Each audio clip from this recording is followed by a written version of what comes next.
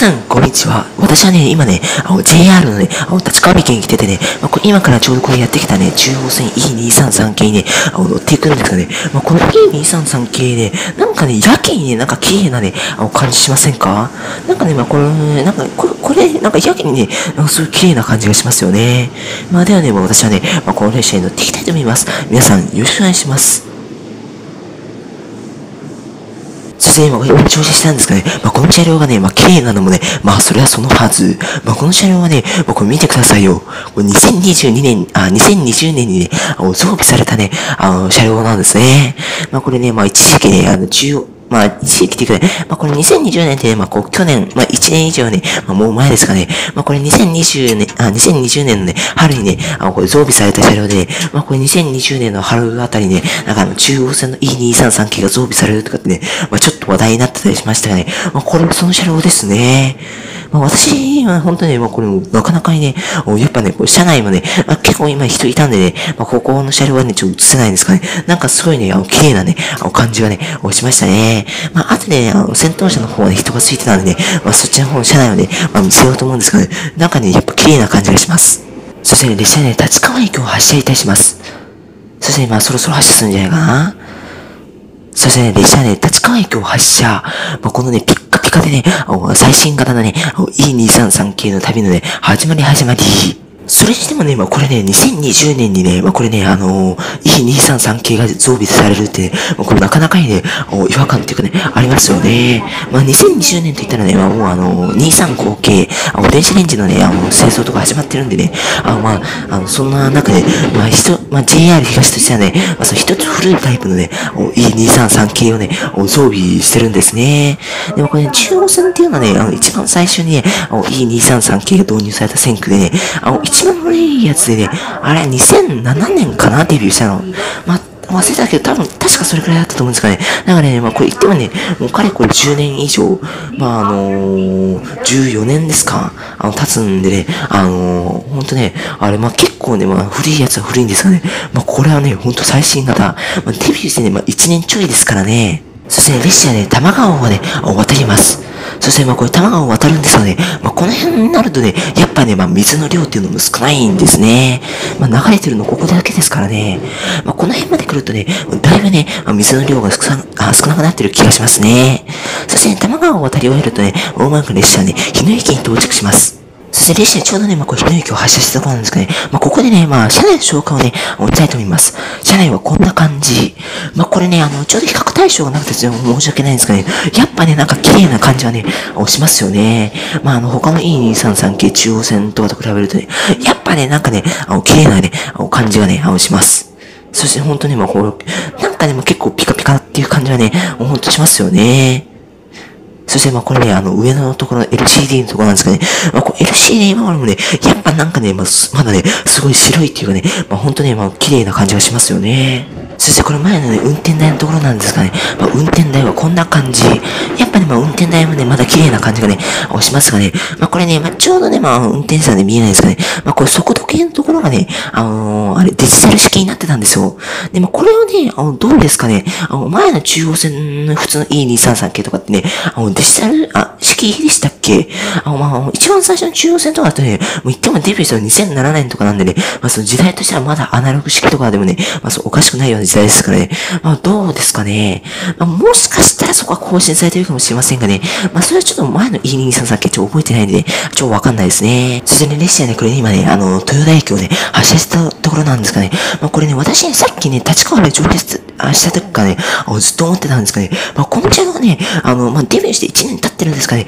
まだね、まあ、まあかすかにね、あの、新車の香り、あ、香りがね、するんですよね。まあ、これね、あの、新車に、あ新型車両に乗るとね、結構ね、あの、あれね、なんか、塗料とかの匂いなのかちょっとわかんないんですかね。あの、新車の香りがね、すごいするんですよ。で、まあ、これでね、デビューして1年経ってるんで、だいぶ薄れてはいるんですかね。それでもまだね、あの、かすかにね、新車の香りっていうのがね、するんですね。あと、下、うんとね、そしてまあこれね、あの、ドアのところとかね、やっぱね、すごいピカピカですよね、まだ。まあ、デビューして1年ですからね。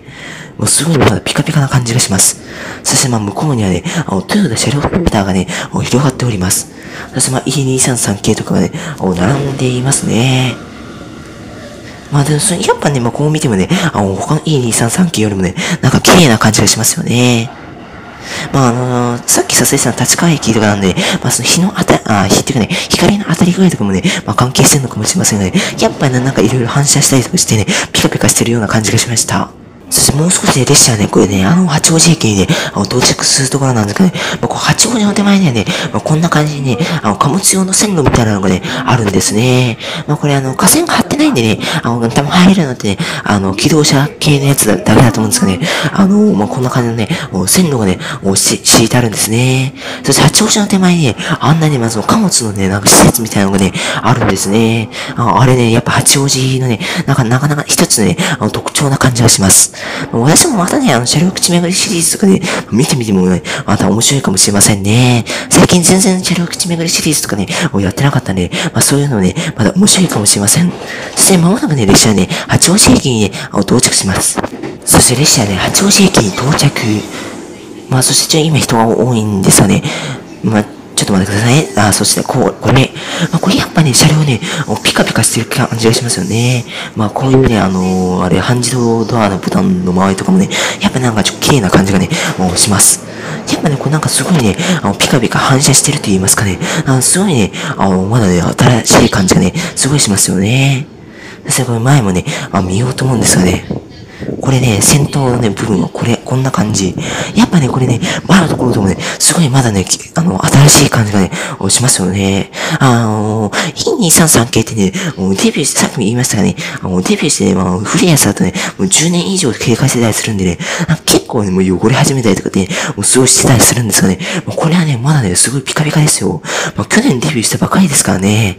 だから、なかなかね、まだね、あの、綺麗な感じがね、します。そしてまあこれね、あの、行き先表示幕の周りもね、やっぱすごいね、こう、綺麗ですよね。まあこれね、E233 系はね、2007年にできたやつかね、あの、すべてね、行き先表示幕はね、あの、フルカラー LED っていうことになってるんですがね、あの、まあ、やっぱね、あの、そういう他のやつよりもね、あの、綺麗な感じはね、しますよね。そして多分もうそろそろね、列車発車するんじゃないですかそして列車ね、どうもね、まもなく八王子駅をね、発車していくんですがね、やっこれね、あの、やっぱ綺麗な感じしますよね。なんかすごいね、あの、駅の方のね、あの、光がね、すごい反射してると言いますかね、本当に、すごいね、まだね、ピカピカなね、本当ね、そんな感じがね、持ちます。そして、ね、列車がね、どんどんね、西八王子、高尾方面と向けてね、発車していきます。